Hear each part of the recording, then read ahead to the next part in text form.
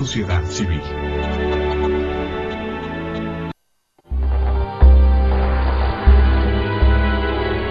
Canal Patrio, voz e imagen, imagen de la sociedad civil.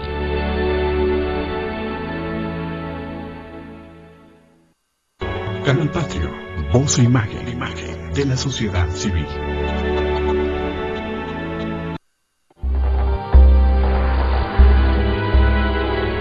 Canal Patrio, voz e imagen, imagen de la sociedad civil.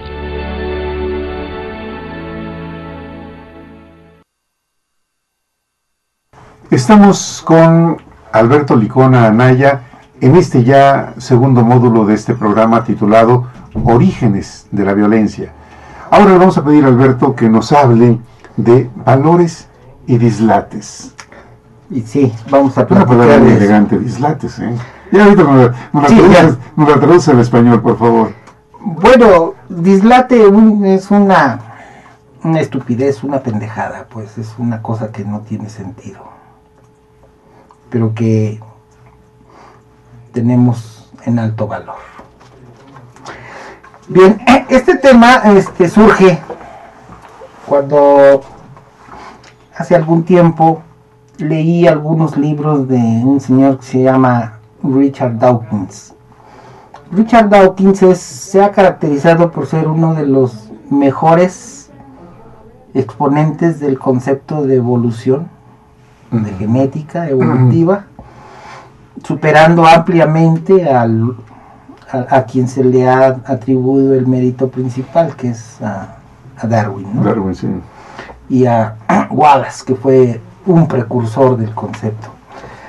Dawkins es, es algo que eh, él se dice etólogo, quién sabe qué significa eso, pero él se dedica a estudiar a las aves y a los pajaritos. a- de al menos de ahí, ahí empezó. sí. Y, y ha dado origen a muchos libros. Uno de ellos es El gen egoísta. Es un libro que, que causó mucha polémica. Es un libro que yo conocí cuando era un joven de 20 años. Y fue una, una de las lecturas que más disfruté. Posteriormente encontré otro libro que se llama El relojero ciego. Eh, en este libro Dawkins más o menos sugiere cuál es el vector que genera la evolución. O sea, no es ningún destino manifiesto, no es ninguna meta que tenemos que cumplir. Es simplemente una forma en que opera el universo y la biología de manera particular. Bueno, este señor en sus libros, en su libro relojero griego, describe eh, la vida de unos estorninos. Eh, los estorninos son unos, unos pajaritos que hacen mucho escándalo. Y él, eh, él cometió algunos errores, por ejemplo, en su, en su afán de estudiarlos, pues cuando se caían del árbol, él los cuidaba y pues, se tenía que afanar en hacer el asunto. Pero rápidamente se dio cuenta que si él se hacía cargo de los de los este, pajaritos, Pajaritos caídos, sí.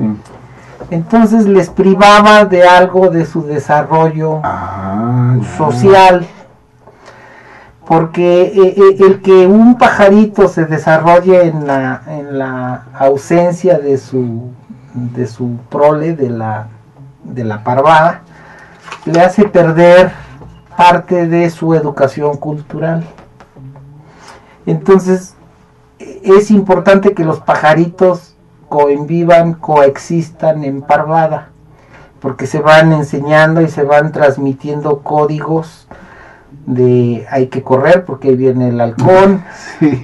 este, ya es el momento en que nos deben de dar de comer, tengo frío, tengo calor, tengo una bola de cosas. O sea, a través de sus, sus cantos, de sus chirridos, Ah, se comunican. Y aquí está la primera pista de lo que se- del, del tema que llamamos valores y dislates. Eh, ah, más o menos en 1950 hubo una inquietud, se empezaron a generar las expresiones de es que ya no hay valores, se están perdiendo los valores. Y todo el mundo habla de, de los valores como de los escrúpulos, o sea, no sabemos si son grandotes, chiquitos, medianos, si son verdes, azules. O sea, uno habla de cosas que son intangibles. Yo también tuve un, eh, un ejemplo, este, muy clara, muy, muy, muy atinadamente me aclaró mi papá. Un día que yo estaba dando mucha lata cuando tenía como cuatro años o cinco, mi papá me dijo, oye, pórtate como la gente. Y yo dije, ching, ¿qué es esto, no?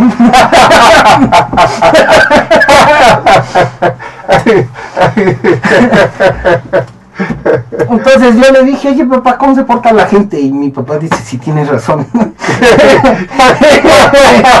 es una tontería lo que. Mira, esto tiene que ver con tener temor a Dios, tener disciplina, tener lealtad, tener dignidad, tener, tener puntualidad obedecer órdenes.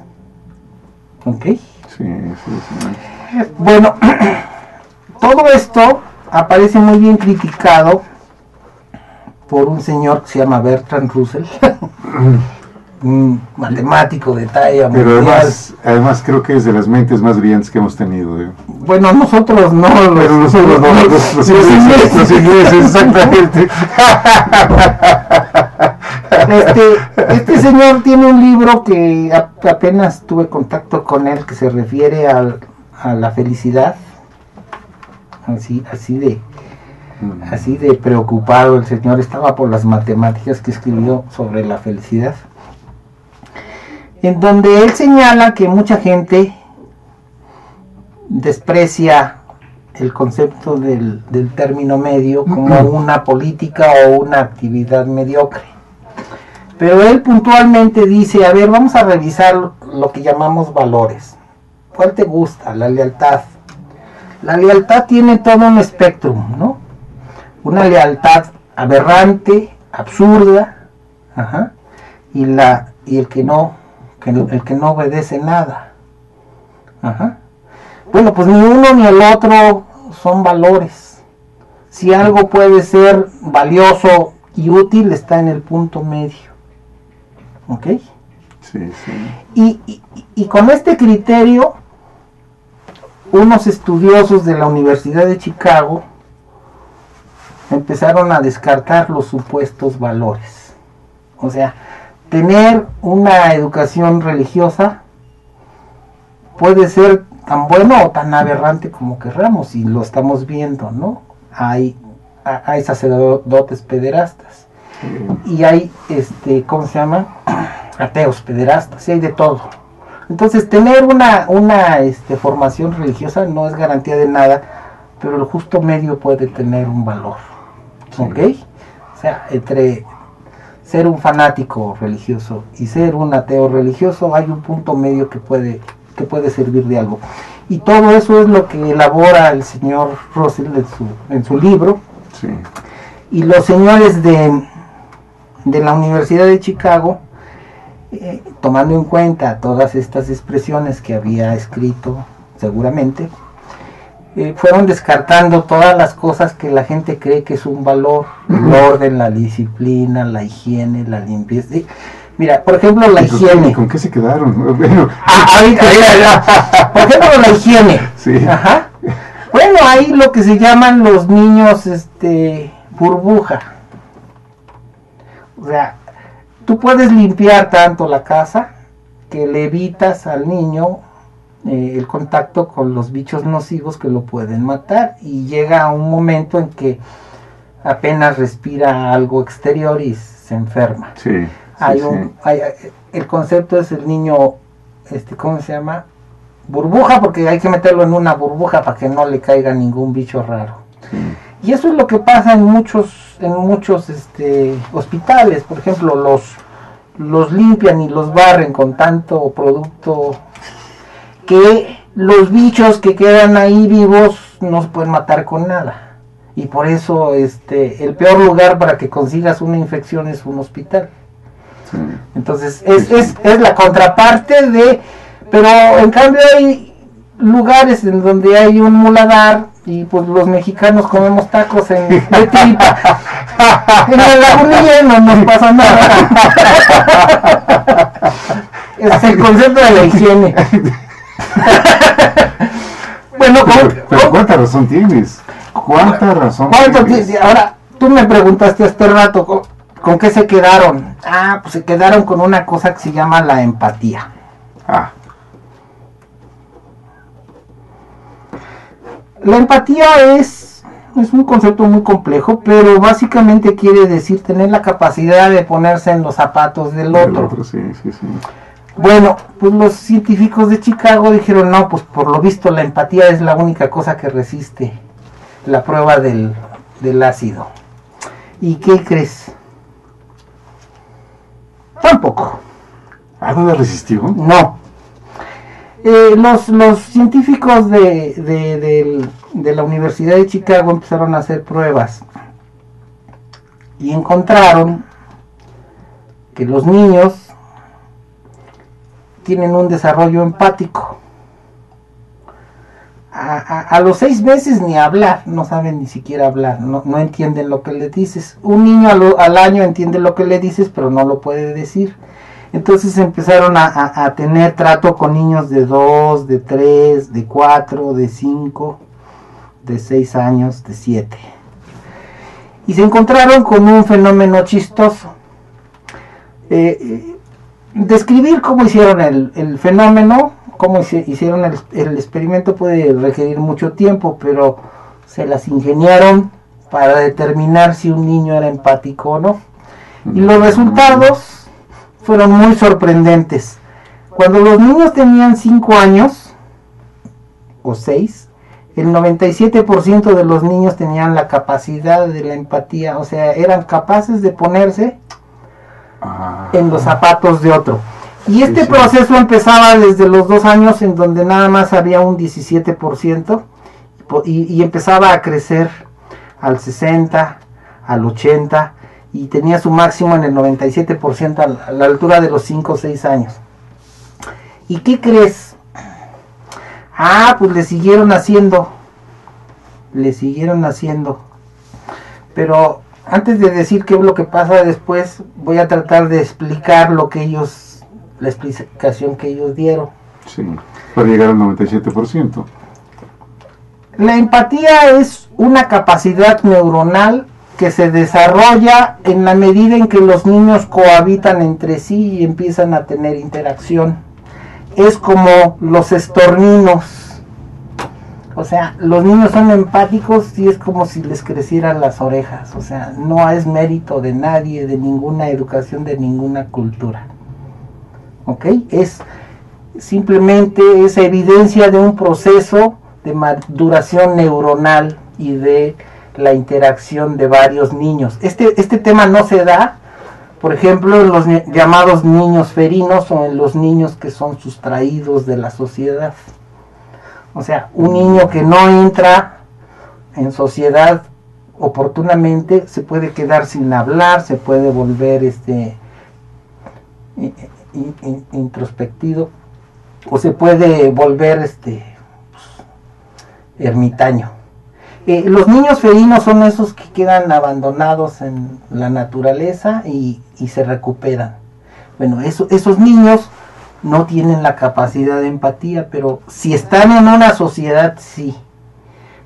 ¿Ok?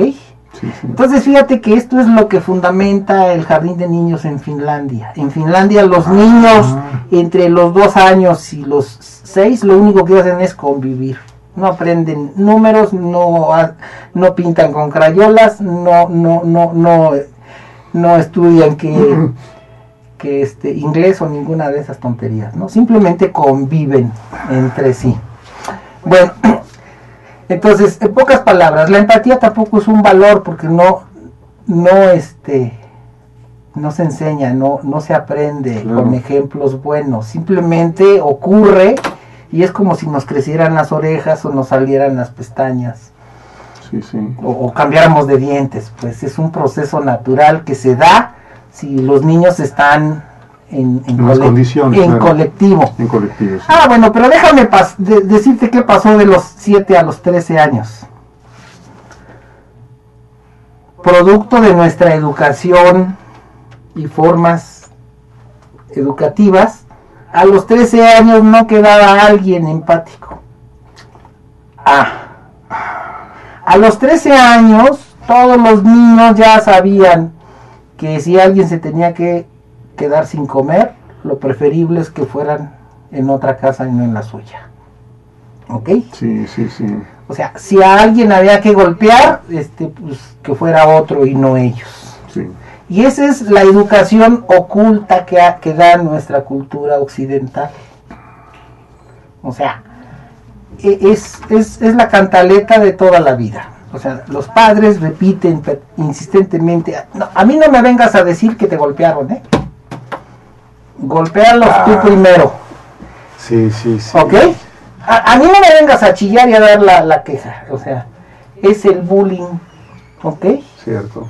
Bueno, pues el bullying lo que hace es que se acabe la empatía. La empatía. Sí, a los 16 años ya nadie se va a, a- a arrimar a levantar a la viejita, nadie va a levantar al que se cayó, pues porque nuestras reglas sociales indican que si alguien está tirado y si tú lo volteas este y se muere, pues te pueden cargar el muerto a ti. Fíjate que me ha tocado ver en alguna ocasión a un papá diciéndole a su hijo lo que tú acabas de mencionar, dale en la madre, Ajá. ¿sí? Al otro, Al otro. diciéndole a su hijo.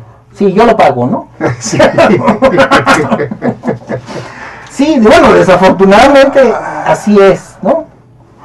Bueno, pero eh, por eso, por eso estoy diciendo que todo eso que hemos considerado valores son en realidad tonterías, dislates, o sea, cosas que no tienen valor y nosotros les hemos dado un valor artificial. ¿Ok? Y, y, y es, pues ahora sí que como los escrúpulos, ¿no? Cuando te dicen, no, es que esa persona no tiene escrúpulos, puta, ¿y cómo son? son grandotes, chiquitos, los uno en la garganta, debajo de las axilas, este, atrás de las orejas, este, adentro de la nariz. ¿Dónde están los escrúpulos? Yo nunca los he visto. o sea, hablamos de cosas que carecen de personalidad jurídica y patrimonio propios. Y muy parecido a eso son los valores. ¿Ok? Sí. Bueno, pues este, no, no sé si todavía tengamos tema, digo, tiempo para, sí. Para continuar esto. Por favor. Pues mira, eh, eh, el tema este es, es- debe ser motivo de reflexión porque lo que todo esto que estoy describiendo exhibe es que la empatía, la, la, la conmiseración, el respeto, la, el reconocimiento como igual, se da de manera natural en la biología. Y son las formas culturales Sí. las que lo echan a perder. Fíjate, yo soy usuario del transporte público. Y hoy eh, me tocó que bajando del camión para luego ir al metro, una señorita me tendió la mano para yo bajar. Y lo primero que pensé, es muy considerada como una persona de la tercera edad, pues se nota que soy de la tercera edad. Y se lo dije, dije, me sorprende. Y mira, cómo todo esto tiene que ver con la empatía. O sea, si a todas las personas mayores, personas más jóvenes, le digan, permítame, hombres o mujeres, porque luego ya las bajadas del, del camión no son tan fáciles, ¿eh? ¿No? Los escalones altos. Bájate del, del metrobús. Bueno, ah, Erika, vamos a un breve intermedio y regresamos. Gracias, Erika. Canal Patrio, voz e imagen, imagen de la sociedad civil.